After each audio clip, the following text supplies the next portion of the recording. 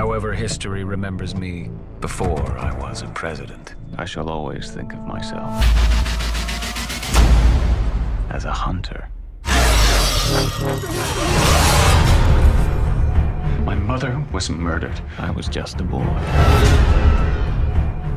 There is darkness everywhere, Mr. Lincoln. I can teach you how to see them, how to destroy them. I will give you names and you will hunt them down. It falls to us, Abraham, to ensure this remains a nation of men and not monsters. How do we begin? There is a war coming.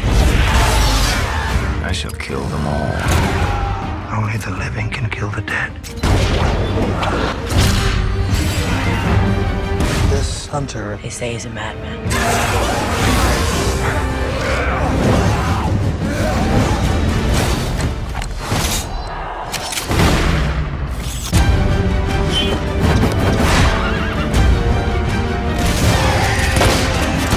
It's time vampires got a nation of our own.